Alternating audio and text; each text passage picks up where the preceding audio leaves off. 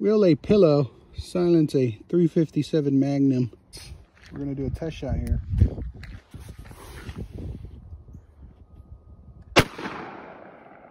So here's the deal.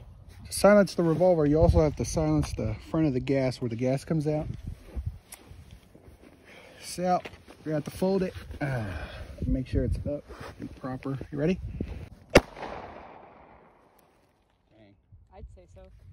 I'd say a little bit. I feel like I get a shock when you don't do that. You, you can feel it in your body. I mean, those some pretty hardcore burns though. Be those, just these right here. It's not bad. Well, now you know. Smarter you get every day. You're welcome.